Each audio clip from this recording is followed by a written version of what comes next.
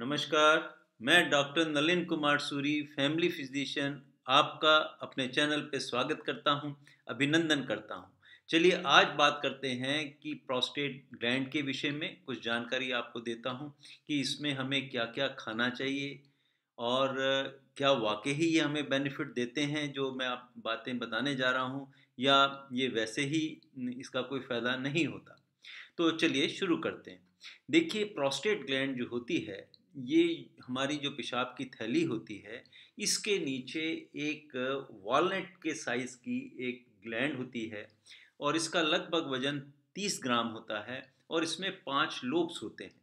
और ये जो ग्लैंड है, इसके बीच में से एक ट्यूब जाती है, जिसे हम प्रोस्टेटिक यूरेथ्रा कहते हैं। और इस ट्यूब के जाने से ही जो पेशाब की थैली का जो पेशाब है, वो हमारे शरीर से बाहर निकलता है। ठीक है? अब बात करते हैं कि देखिए ये ग्लैंड जो है, इसके, इसमें तीन चार किस्म के रोग बन जाते हैं। कभी कभी इसमें इन्फेक्शन हो जाता है, उससे स्वेलिंग आ जाती है या वैसे ही उम्र के साथ साथ जैसे व्यक्ति की एज बढ़ती चली जाती है, इसका भी इन्लार्जमेंट होता चला जाता है और आम तौर पे 40 साल 45 साल के बाद ये ज़्यादा बढ़ने लग जाती है और पचास साठ सत्तर साल के आसपास इसकी वजह से कुछ सिम्टम्स भी आने शुरू हो जाते हैं।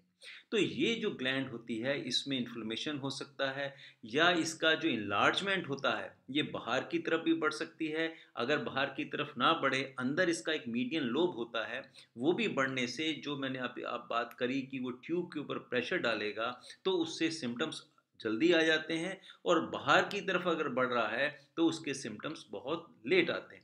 या इस ग्लैंड के अंदर कैंसर भी हो जाता है और ये कैंसर का पता भी नहीं लगता, इतना स्लो ग्रोइंग कैंसर होता है कि इसके विषय में बहुत लोगों को पता ही नहीं लगता और वो सारी उम्र इसमें बिता देते हैं और उसकी वजह से वो वैसे ही बिना ट्रीटमेंट के इस दुनिया से चले जाते तो अब ये जो ग्लैंड होती है, इसकी जो भूख है वो एक हार्मोन होता है जिसे मेल हार्मोन कहते हैं, वो टेस्टोस्टिरॉन हार्मोन होता है, उसकी प्रेजेंस में ही इसकी ग्रोथ होती है और उसी से इसके अंदर सारा मतलब इसकी जितने सेल हैं, वो फ़ंक्शन करते हैं। अब ये जो ग्लैंड है, इसमें से एक फ्लूड बनता है। जिसे प्रोस्टेटिक फ्लूड कहते हैं, ये जो सीमन होता है, उसका फ्लूड बनाने में काम आता है और इसी की प्रेजेंस में जो स्पम्स होते हैं, मेल स्पम्स होते हैं, वो मूवमेंट करते हैं, तैरते हैं। तो ये कि छोटी सी बात मैंने आपको प्रोस्टेट ग्लैंड के बारे में बताई, अब मैं बताता हूँ कि इसकी वजह से कौन कौन से सिम्टम्स हो जाते हैं।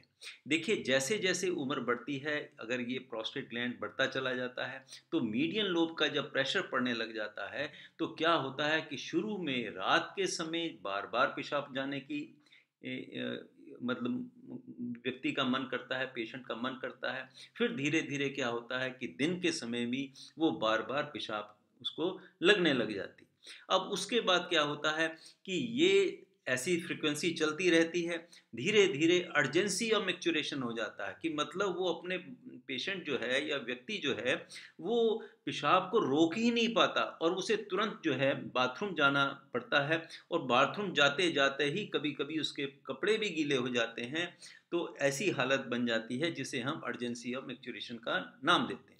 और ये जो धार होती है पेशाब की, वो पतली होनी शुरू हो जाती है पैरों के पास पेशाब गिरना शुरू हो जाता है, पेशाब में जलन हो सकती है और साथ ही साथ कभी खून भी आ सकता है। और फिर देखिए कि ये जो जब ऐसा होने पर जब पेशाब करने जाते हैं तो पीछे क्या होता है कभी कभी ऐसे पेशेंट्स को महसूस होता है कि अभी तक मेरा पेशाब पूरा उसकी निकासी नहीं हुई, उसे अनसेट सेटिस्फैक्ट्री उसके उसको इमोशंस बन जाते हैं कि अभी भी उसे पेशाब आना है, लेकिन आ नहीं रहा। ऐसी कभी कभी कंडीशन क्या हो जाती है कि वो बाथरूम में जाता है, कुछ सेकंड्स के लिए खड़ा रहना पड़ता है कि उसका पेशाब का पेशाब का जोड़ तो बन रहा है, लेकिन पेशाब बाहर नहीं निकल रहा। या क्या होता है कि जैसे किसी ने अल्कोहल ज़्यादा रात को पी लिया, या रात की ज़्यादा पानी पी लिया, या ठंड के दिनों में कभी कभी क्या होता है कि रिटेंशन ऑफ़ यूरिन हो जाता है ब्लैडर से पेशाब बाहर आ ही नहीं पाता। तो ये कुछ ऐसी कंडीशंस होती हैं जो प्रोस्टेट के, जिनके बढ़ जाता है या उसमें इन्फ्लेमेशन हो जाता है, या कैंसरस की जो कंडीशन होती है, वो ऐसी कंडीशंस में ऐसे पेशेंट देखे जाते तो फिर क्या होता है कि जब डॉक्टर फिर के पास जाने के बाद वो सारा मेडिकल चेकअप कराते हैं अपना एग्जामिनेशन करते हैं या कुछ ऐसे टेस्ट कराए जाते हैं, उनसे पता लगाया जाता है। लेकिन एक बेसिक टेस्ट होता है, जिसे हम पीएसए टेस्ट कहते हैं। ये हर व्यक्ति को वैसे भी करा लेना चाहिए। जब भी उसकी किसी व्यक्ति की आयु 40 साल से ऊपर होती है तो पी एक टेस्ट होता है। प्रोस्टेट स्पेसिफिक एंटीजन टेस्ट कहते हैं, ये कराना चाहिए, ये एक तरह से इंजाइम होता है, जो कि फ्लूड को, जो सीमन होता है, उसके फ्लूड को बढ़ाने में, उसे लिक्विफाई रखने में ये मदद करता है। और इसके बढ़ जाने से पता लग जाता है कि नॉर्मल वैल्यू से अगर वो ज़्यादा चला जा रहा है तो इसका मतलब प्रोस्टेट में ज़रूर कोई ऐसी समस्या है जिसका समाधान फिर किया जाता है। अगर ये पी लेवल बहुत ज़्यादा बड़ा हुआ होता है तो डॉक्टर्स क्या हैं? प्रोस्टेट की बायोप्सी भी करते हैं। या उसका रेक्टम के द्वारा अल्ट्रासाउंड भी ये किया जाता है। ऐसे बहुत सारे टेस्ट हैं, वो किए जाते हैं, लेकिन इतनी इन्फॉर्मेशन आपके लिए मैंने उचित समझी कि आपको ट्रांसफ़र करूँ कि पीएसए टेस्ट जो है, ये कराना भी बहुत ज़्यादा ज़रूरी होता है। अब बात करते हैं कि मान लीजिए आपको डायग्नोस हो गया आपको किसी भी किस्म का प्रोस्टेट है, चाहे वो कैंसरस है, या वो प्रोस्टेट वैसे ही बड़ा हुआ है, या उसमें किसी प्रकार का बैक्टीरियल इन्फेक्शन है तो हम क्या क्या काम ऐसे करें क्या क्या उसमें खाने की विधि हम अपनाएँ, जिससे कि हमारा जो प्रोस्टेट का जो ग्रोथ है, या उसमें हम राहत पा सकते हैं। तो चलिए, और किस प्रकार से ऐसे क्या क्या साधन है, जिससे कि टेस्टोस्टेरोन हार्मोन भी हमारे शरीर में कम बने, जिससे कि इसकी ग्रोथ में, इसकी कॉम्प्लिकेशंस में आसानी हो। तो देखिए, सबसे पहले बात करते हैं हम टमाटर की। टमाटर जो है, एक बहुत अच्छा हमारे देश में काफ़ी मात्रा में मिलता है, काफ़ी सस्ता एक आइटम है। वो पर व्यक्ति को, जिसको भी 40 साल से ज़्यादा उम्र हो गई है चार पाँच टमाटर उसे रोज़ खाने चाहिए। क्यों खाने चाहिए? क्योंकि इसके अंदर लाइकोपिन नाम का एक केमिकल होता है, जो कि प्रोस्टेट की हेल्थ के लिए बहुत ज़्यादा बेनिफिट होता है।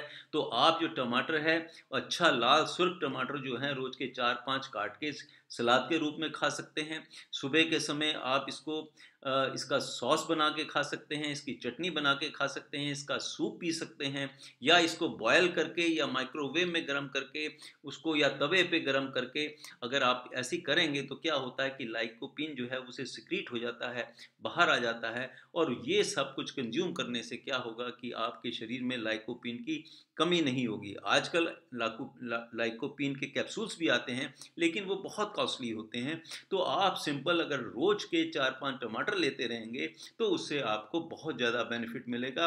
आपका प्रोस्टेट की जो ग्लैंड है, उसमें स्वेलिंग कम होगी, उसका इन्लार्जमेंट में ये रोक करेगा। तो ये इतना बड़ा बेनिफिट आप सिंपल टमाटर से ले सकते हैं। फिर बात करते हैं हरी सब्जियों के बारे में। देखिए, सारी हरी सब्ज़ियाँ जो भी मार्केट में अवेलेबल हैं, उस सीज़न की जितनी अच्छी सब्ज़ियाँ सबका आप सेवन कर सकते हैं।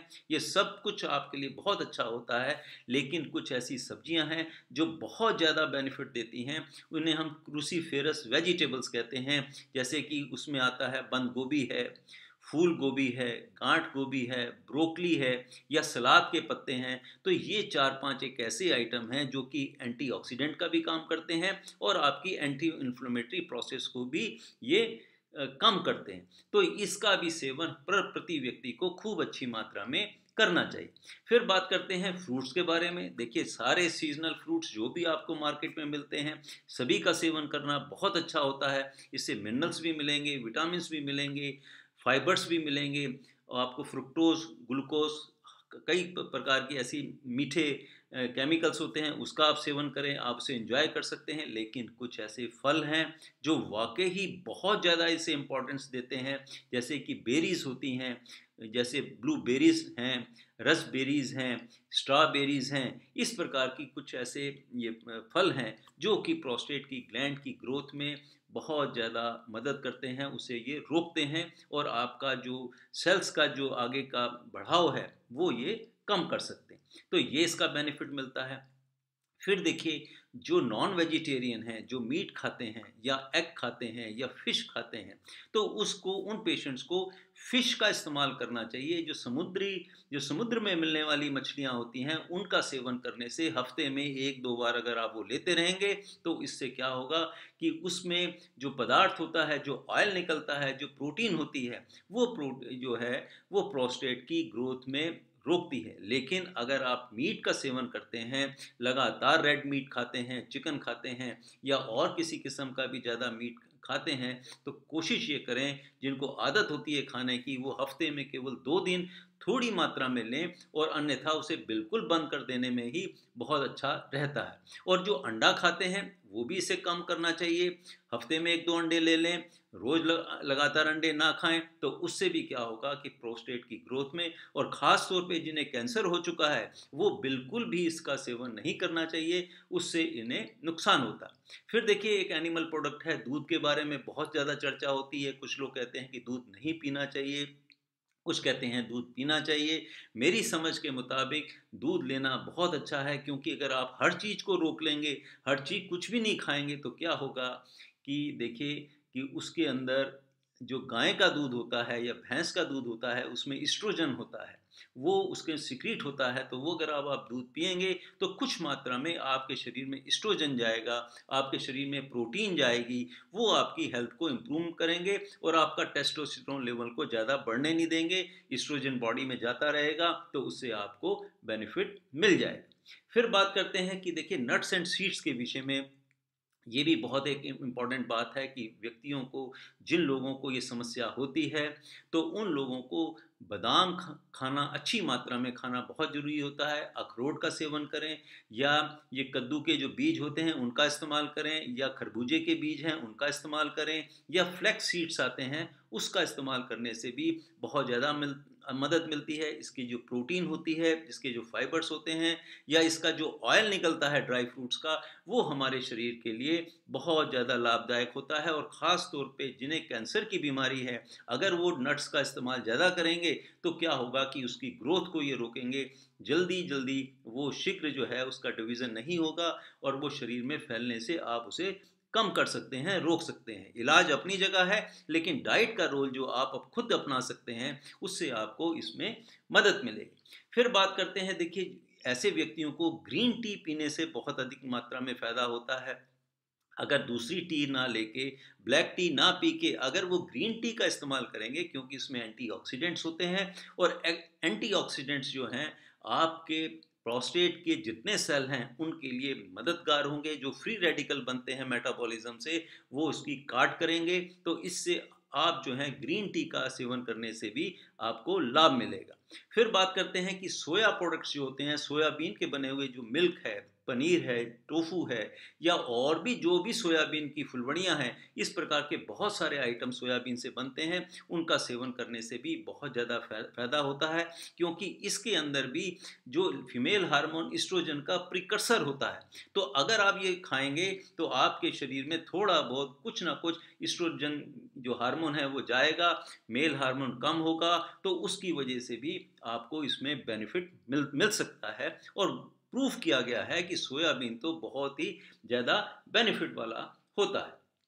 फिर देखिए, हमेशा ऐसे व्यक्तियों को हमें हाइड्रेटेड रहना होता है। पानी की मात्रा हमेशा अच्छी पीते रहें, क्योंकि जब शरीर के अंदर पानी अच्छा होगा, शरीर के सारे सेल जो हैं, बॉडी के सब अच्छे काम करेंगे, पेशाब ज़्यादा बनेगा तो क्या होगा कि आपके प्रोस्टेट की वजह से इन्फेक्शन होने के चांसेस कम हो जाते हैं। पेशाब में जलन नहीं होगी, खून नहीं आएगा जब इन्फेक्शन चांसेस बहुत कम हो जाते हैं तो इसलिए पानी का सेवन करना भी बहुत बहुत ज़रूरी होता है। फिर बात करते हैं कि देखिए, जितने घी के पदार्थ हैं ऑयल के पदार्थ हैं, जो बहुत तली हुई चीज़ें, जो खाने के लोग शौकीन होते हैं तो उन्हें ये बहुत कम कर देना चाहिए। घी, चिकनाई, मलाई या जो भी इस प्रकार के आइटम घर में बनते हैं उनका सेवन बहुत कम से कम करें, जिसकी वजह से क्या होगा कि इसका जो शरीर में जाएगा, ये कोलेस्ट्रॉल में कन्वर्ट होगा। जब शरीर में कोलेस्ट्रॉल ज़्यादा होगा तो क्या होगा कि टेस्टोस्टेरोन हार्मोन भी फिर ज़्यादा बनेगा, जो हमारे प्रोस्टेट के लिए नुकसानदायक है। तो इसलिए घी को भी अवॉइड कर देंगे तो क्या होगा कि आपकी प्रोस्टेट की हेल्थ जो है, वो अच्छी मेंटेन रहेगी। फिर बात करते हैं कि ग्लूकोज लेवल की बात की, कि आपको अपने शरीर में से हमेशा ग्लूकोज डाउन रखना है, ज़्यादा बढ़ने नहीं देना है तो उसके लिए क्या है? सबसे आसान रास्ता है कि आप मैदे की चीज़ें ना खाएँ, आप चीनी की और गुड़ की, शक्कर की बनी हुई चीज़ों का कम से कम इस्तेमाल करें, क्योंकि अगर शरीर में ग्लूकोज की मात्रा बढ़ेगी, शरीर में ब्लड में ग्लूकोज ज़्यादा होगा तो क्या होगा कि जो प्रोस्टेट के सेल हैं, उनको रॉ मटेरियल मिल जाएगा, क्योंकि उनको डिवीज़न के लिए उन्हें उन्हें बार बार मल्टीप्लाई करने के लिए उन्हें ग्लूकोज मिलेगा, वो बहुत जल्दी डेवलप करेंगे। तो इसलिए जब रॉ मटेरियल ही नहीं होगा तो क्या होगा कि उनका डिवीज़न हल्का हो जाएगा, वो जल्दी फैलेंगे नहीं। और इससे आपका जो प्रोस्टेट की हेल्थ है, वो हमेशा अच्छी बनी रहेगी। फिर बात करते हैं कि देखिए कि स्ट्रेस लेवल को भी डाउन रखना होता है। मैं स्ट्रेस को हमेशा डाइट के साथ जोड़ता हूँ कि ये भी आपका भोजन है। जो व्यक्ति हमेशा नेगेटिव के बारे में सोचते रहते हैं, खुश नहीं रहते हैं टेंशन में रहते हैं, हमेशा उन्हें कोई ना कोई चिंता सताए रहती है तो ऐसे व्यक्तियों में भी प्रोस्टेट की हेल्थ के लिए नुकसान होता है। उनके शरीर में ऐसे हार्मोन बनते हैं टेस्टोस्ट्रॉन हार्मोन भी ज़्यादा बन जाता है। तो इसलिए और हमेशा जब स्ट्रेस फ्री रहेंगे, खुश रहेंगे, आदतन आप हमेशा रिलैक्स रहेंगे तो क्या होगा कि प्रोस्टेट की हेल्थ के लिए भी ये बहुत ज़्यादा बेनिफिट होता है। फिर देखिए ऑक्सीजन ऑक्सीजन को भी मैं डाइट के रूप में लेता हूँ कि जब आप इनहेल अच्छा करेंगे डीप ब्रीदिंग एक्सरसाइज करेंगे, खुली हवा में रहेंगे, खुले वातावरण में रहेंगे दूषित वातावरण में नहीं रहेंगे तो क्या होगा कि शरीर के अंदर ऑक्सीजन अच्छी जाएगी। जब ऑक्सीजन अच्छी जाएगी, शरीर के सारे सेलों के चारों तरफ़ का वातावरण अच्छा हो जाएगा तो फिर क्या होगा कि उनको सेल्स को आराम मिलेगा रिलैक्स मिलेंगे और वो बहुत शांति से उनका मल्टीप्लिकेशन भी फिर गलत नहीं होगा, सही ढंग से उनका मल्टीप्लाई करेंगे और आपके शरीर में कोई भी ऐसी प्रॉब्लम बनने जा रही है। ज़रूरी नहीं मैं प्रोस्टेट की बात कर रहा हूँ जर्नल बॉडी के लिए भी एक फ्रेश ऑक्सीजन की सांस लेना डीप ब्रीदिंग एक्सरसाइज करना बहुत ज़्यादा ज़रूरी होता है। इसके ऊपर मैंने एक अलग से पूरा एक वीडियो बनाया हुआ है तो आप वो जाके देखें, सुने तो उससे आपको पूरा क्यों हमें डीप ब्रीथिंग एक्सरसाइज करनी चाहिए, इसके ऊपर भी मैंने एक अच्छा डिस्कशन किया हुआ है। तो ये कुछ चंद बातें मैंने आपके साथ डिस्कस करी, हो सकता है ये आपको पसंद आती हो आपके फ़ायदेमंद होंगी, इससे आपको लाभ मिलेगा। तो एक शॉर्ट में मैं बता देता हूँ कि अपने जीवन की लाइफ स्टाइल को अगर बदल लेंगे तो क्या होगा कि आपकी हेल्थ पूर्ण रूप से सही रहेगी और ख़ास तौर पे प्रोस्टेट के लिए ये जो मैंने आइटम सब बताए हैं, अगर व्यक्ति खाता रहेगा तो जो उनकी प्रॉब्लम बन चुकी है, या तो वो रुक जाएगी, आगे बढ़ेगी नहीं और अगर बढ़ेगी भी तो कुछ सालों के बाद बढ़ेगी तो तब तक आप अपना अच्छा जीवन जी सकते हैं। तो इसी के साथ ये वीडियो मैं समाप्त करता हूँ। फिर मिलूँगा किसी और वीडियो पे चर्चा करूँगा। तब तक के लिए नमस्कार। Bye bye